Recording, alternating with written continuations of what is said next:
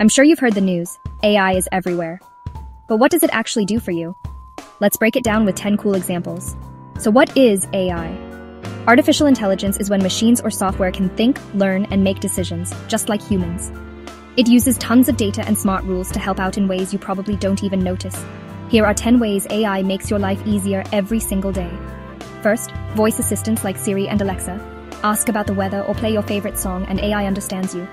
Second, your phone's face unlock and those cool photo filters. All powered by AI.